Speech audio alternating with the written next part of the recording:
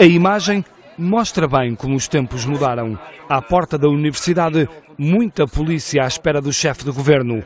A entrada foi tranquila, sem confusão, mas há um aluno que assobia e insulta Passos Coelho. O chefe da segurança do primeiro-ministro agarra o estudante e vira-se depois contra o repórter de imagem da TVI que o filmava. Polícia, venha à rua. Não me, não me filmas a cara. Não.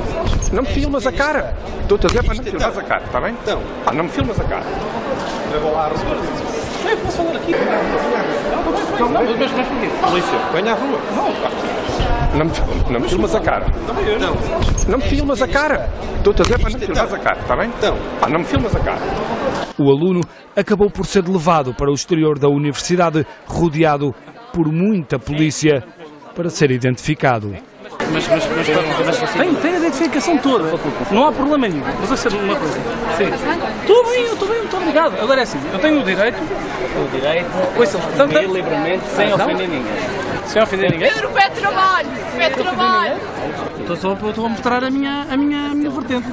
Mas A minha, a minha rápido, rápido enquanto eu trabalhar preciso dessa identificação. Não demora muito. É assim, eu estou no meu instituto. Correto.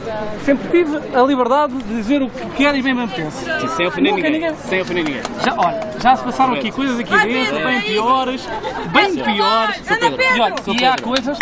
Sim, senhor. Posso lhe dar, Não Agradecia que se afastasse só um bocadinho, está bem? não tem problema nenhum. Estamos aqui a trabalhar, está bem? Obrigadinho.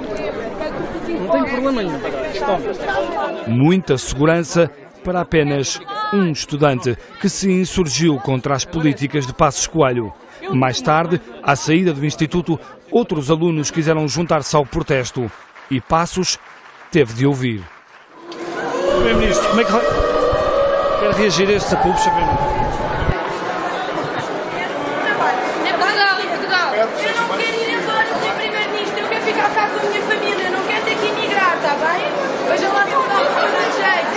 Eu não quero mais ter aos meus pais, por favor. E assim o primeiro-ministro apressou-se na saída e sempre à distância imposta pelos muitos seguranças. Aliás, tal como acontece com o resto do governo, agora todos os ministros têm segurança reforçada. Sinais dos tempos e de um país descontente.